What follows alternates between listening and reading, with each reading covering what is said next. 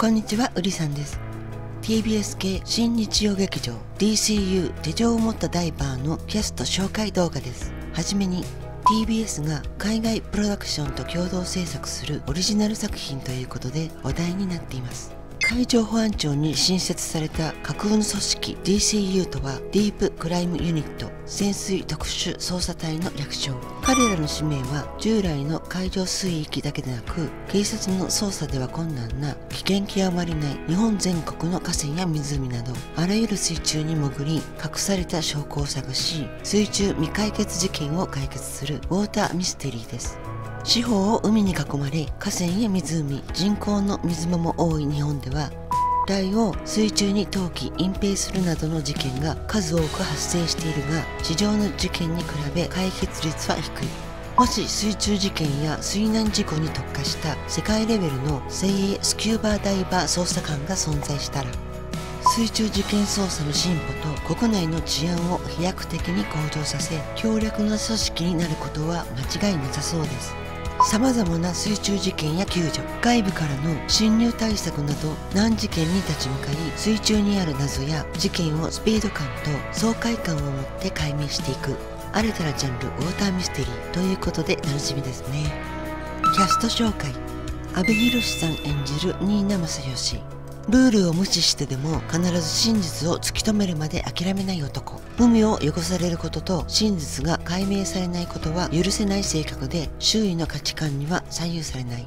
水中に潜り様々な難事件を解きその裏に潜む悪に立ち向かっていく。横浜流星さん演じる瀬能春樹。ダイバーとしての能力が高く DCU の中でも群を抜く存在。チームを引っ張る原動力になることもあれば一人で突っ走ってしまうことも。幼い頃海難事故に巻き込まれて両親を亡くし自身はニーナに助けられた過去を持つ。中村杏さん演じる成合孝子。海上保安庁初の女性潜水士になった苦労人。純粋かつ前向きな性格でチームに落ち込んでいる人がいれば元気づけてくれる存在。DCU メンバーたちからの信頼も厚い。春樹の憧れの人でもあります。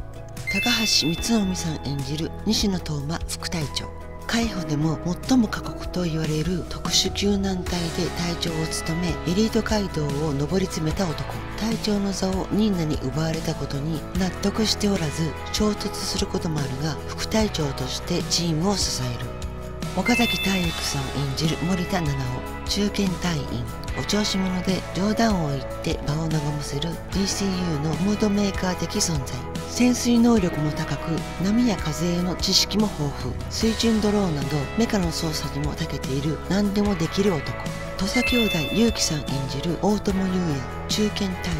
元特殊救難隊員で人命救助などを行っていた。歴代の特急隊員たちの中でも救助現場に立ち会った数の最多記録を持つ特急隊だった西野に憧れている。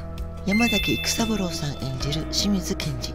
公安一課刑事。公安の出世頭で警察が仕切る陸の捜査に海保の DCU が同等の立場に立つことが許せない。態度や言葉にトゲがあるがニーナのことはそれなりに認めており事件解決のためにお互いを利用し合う。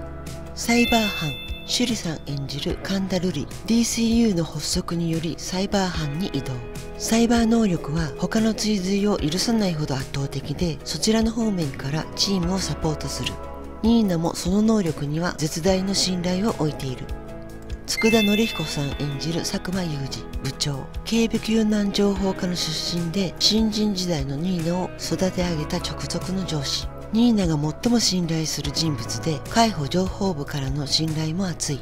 佐久間の進言によって DCU が発足し自身も信頼するニーナを隊長に推薦した。科学捜査ラボ市川美香子さん演じる黒江真子。科学捜査ラボ班長。DCU の発足により科学捜査ラボ班長に就任。白黒つけないと気が済まないサバサバした性格。ニーナとは古くからの知り合いで様々な困難を共にしたことでいい仲となり現在は婚約している。春風亭昇太さん演じる早川守。次長海保ナンバー2のエリート上官。出世欲が強く新たに設立された GCU を成功に導くことで長官の座を狙っている。何かと目立つニーナのやり方を危険に感じており機会があればいつでも引きずり下ろすつもりでいる。新感覚のウォーターミステリー日曜劇場らしいスピード感とヒューマンドラマに期待したいです。そんな第1話は1月16日日曜日夜9時から25分拡大で放送です。今後はレビュー動画としてアップしていこうと思いますのでチャンネル登録よろしくお願いします。最後までご覧いただきありがとうございました。それではまた何かの動画でお会いしましょう。バイ。